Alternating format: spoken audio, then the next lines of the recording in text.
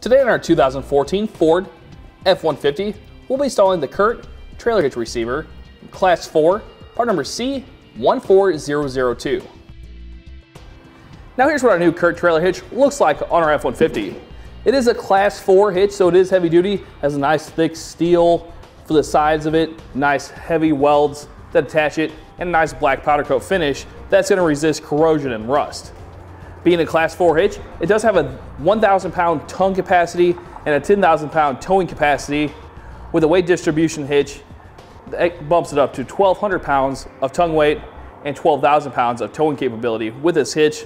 You also want to check the specifications of your vehicle to see what the maximum towing capability is. You always want to go with the lower, whether the hitch or the vehicle rating. It is a two inch by two inch opening and it has a nice thick lip here around the receiver tube to get added strength. A 5 8 pinhole that's easy, easily accessible from either side and your chain tie downs that you can reach when you hook your trailer up. It is a nice square tube, so it's gonna give your truck a nice look. It does hang down a little bit underneath the bumper, but it still gives the truck a nice look from underneath compared to a factory hitch.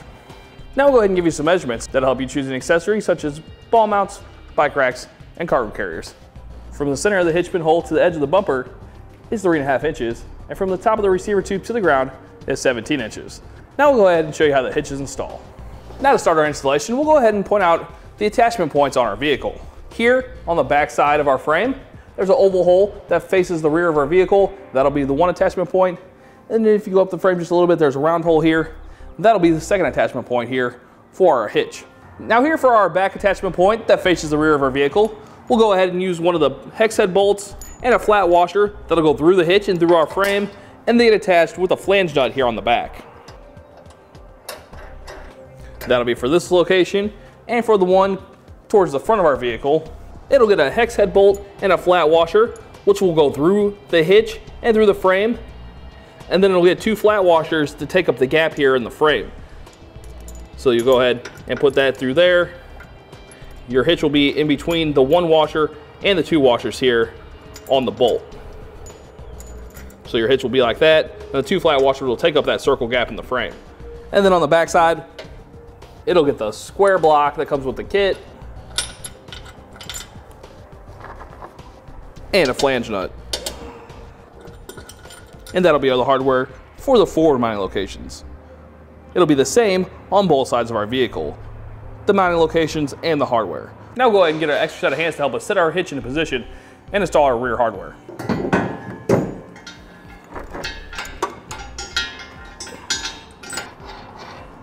Now with our rear hardware installed, we'll go ahead and install the hardware here on the side of our frame.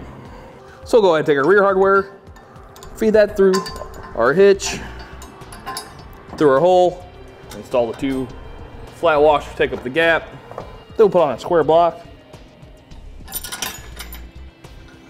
and our flange nut.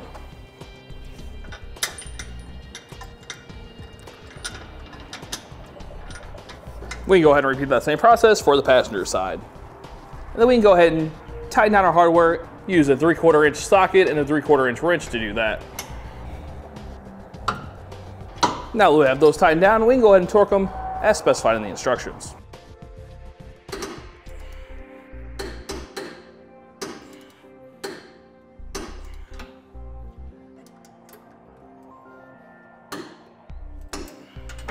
Now with all our hard work tightened and torqued, we're ready to hit the road. And that'll do it for the CURT Trailer Hitch Class 4 with 2 inch opening, part number C14002 on our 2014 Ford F-150.